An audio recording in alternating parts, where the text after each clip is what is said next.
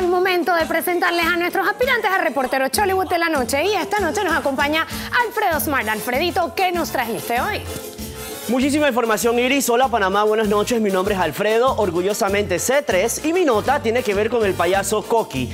¿Qué está haciendo el payaso Coqui? ¿Quién es el payaso Coqui? Eso lo vamos a saber ya. Adelante, BTR. Coqui, nada más unas preguntas bastante rápidas. ¿Qué te hace diferente como payaso? Me hace diferente que uno va conociendo mucha gente, va cogiendo mucha experiencia. Un poquito de cada cosa uno va aprendiendo psicología y todo.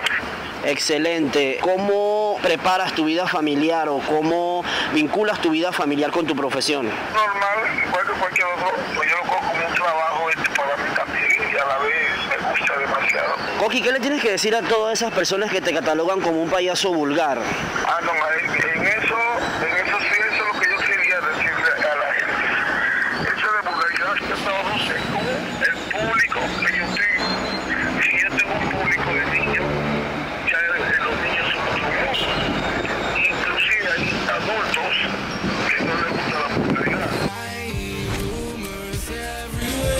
Tengo que empezar diciendo, chicos, que fue muy difícil localizarlo. Es por eso que el audio se escucha así medio complicado. Ah. Estaba como en la calle. Sí, Porque fue... anda por la calle siempre, papi. Tú dices, ¿dónde está Coqui? ¡Guau! Te aparece Coqui.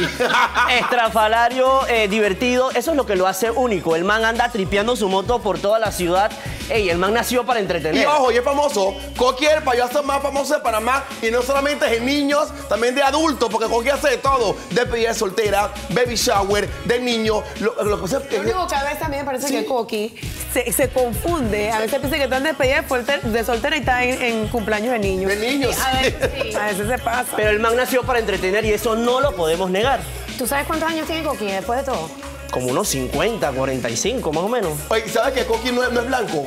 No, sí. Coqui no es blanco. Coqui es... Pero lo descubrí hace como cinco Sí, minutos. Coqui no es blanco, es como pulicito, negrito, sí, mana, sí. sí. Yo quedé hinchado, yo cogí, tú vas a buscar base, ¿eh? Porque yo siempre, siempre pensaba que era blanco, Coqui es es culicito, así canelita. Y él, creo que vive por allá por, ay, no me acuerdo, pero tiene dos hijos. Y por él, su familia sustenta a punta de payasada.